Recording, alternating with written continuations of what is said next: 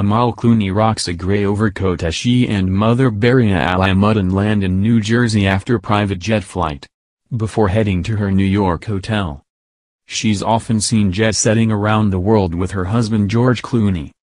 But Amal Clooney appeared to be charting her own course on Tuesday, when she was spotted landing at New Jersey's Teterboro Airport after a flight aboard a private jet. The 44-year-old human rights lawyer cut a casual yet chic figure in a long gray overcoat as she disembarked in the company of her mother Baria Alamuddin. Amal looked classy in the double-breasted overcoat, but she dressed it down by wearing a white t-shirt with text on the chest under it. She paired the casual item with a set of flared gray blue jeans with a noticeable sheen. Baria had on a loose-fitting black top and matching black pants but she added a splash of color with her lustrous magenta boots.